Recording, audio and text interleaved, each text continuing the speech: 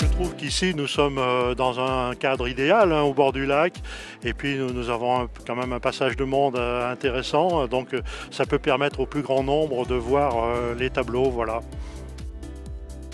Autour de la brocante vient se greffer l'artisanat, ceux qui fabriquent leurs produits, et euh, vient se greffer euh, la collection, c'est-à-dire que tout thème de collection, les moulins à café, euh, ça peut être les pièces de monnaie, ça peut être toutes sortes de collections en fin de compte. Voilà.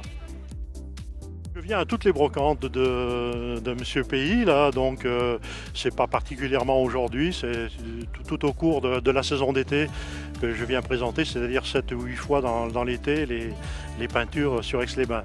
C'est le seul endroit, je dois préciser, où je viens présenter mes peintures au public euh, comme ça euh, directement. Pourquoi organiser une brocante sur le grand port d'Aix-les-Bains Euh, On vient ici depuis 15 ans et on vient ici pour le cadre.